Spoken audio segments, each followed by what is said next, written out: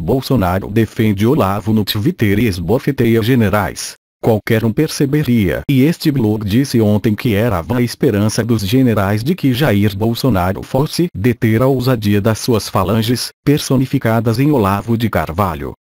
Hoje, no Twitter com toda a pinta de ter sido preparado pelo filho Carlos, o presidente mostra que é aquela a verdade humilha publicamente o porta-voz dos militares, general Eduardo Vilas Boas diz que Olavo de Carvalho se somou à sua luta contra a esquerda e que este se tornou um verdadeiro fã, SIC, para muitos.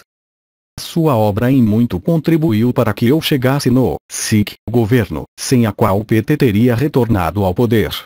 Sempre o terei neste conceito, continuo admirando o Olavo. Depois da declaração de amor, limita-se a dizer que sempre o terei ao Olavo nesse conceito, continuo admirando o Olavo. Quanto aos desentendimentos ora públicos contra os militares, aos quais devo minha formação e admiração, espero que seja uma página virada por ambas as partes. Aí está, generais, no que deu sua adesão a um desqualificado. Como os senhores não têm coragem de pedir para sair, eles os reduziram a soldadinhos para brincar,